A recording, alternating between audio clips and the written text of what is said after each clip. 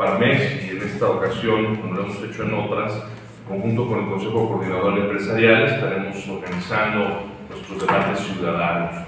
Ustedes recordarán estos debates, este formato innovador, novedoso, pero sobre todo de gran impacto que comenzó en 2019 siendo precisamente presidente de Coparmex, nuestro presidente Raúl González Alonso.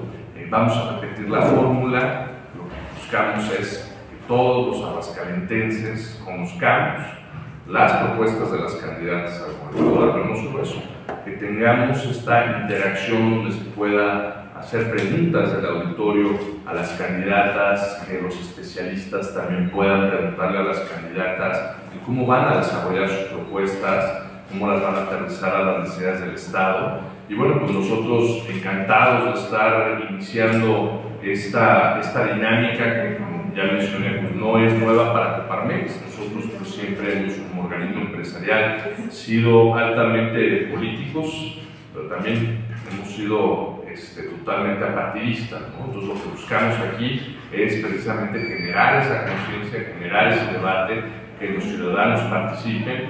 Y bueno, pues en esta ocasión, como en las anteriores, les comentaba, estaremos haciendo esto de la mano del Consejo Coordinador Empresarial y los organismos que forman parte de él. Darles que además estaremos haciendo unas mesas post-debate muy interesantes posteriores al debate que vamos a organizar nosotros y los debates que está organizando el Instituto Electoral, de tal suerte que tendremos mesas de análisis donde podemos platicar, se va a dialogar sobre las propuestas y el desenvolvimiento de las candidatas posterior a estos tres ejercicios. Hay que recordar que hay dos del instituto, más el que estaríamos organizando nosotros eh, los ciudadanos. ¿no? Hay que recordar que, que, la marca que estamos utilizando, no solo la marca, sino quienes estamos organizando este otro debate que será el día el miércoles 11 de mayo, también para tener la fecha, somos los ciudadanos, ¿no? En este caso, pues, los organismos representados en el Consejo Coordinador Empresarial, este, Coparmex también por este lado, y los que quieran sumarse, ¿no? Eh, los debates ciudadanos estarán, como bien lo saben, conformados por un foro ciudadano,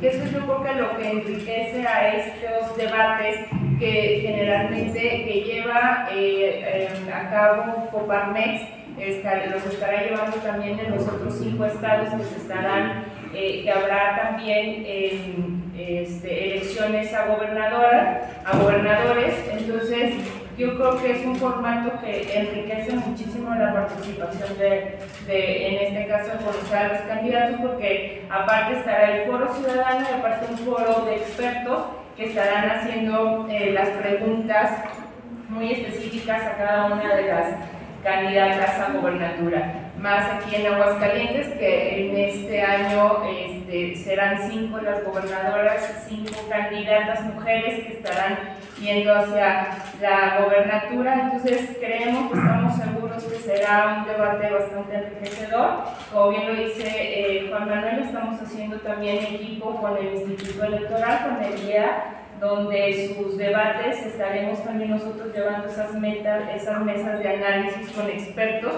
para estar conversando cuál es eh, el resultado y cuáles son el impacto que está teniendo estos, estos debates, esta, estos ejercicios de debate ciudadano. Entonces, invitarlos el 11 de mayo a las 6 de la tarde, es, donde, es cuando estaremos llevando a cabo estos debates ciudadanos. Y entonces,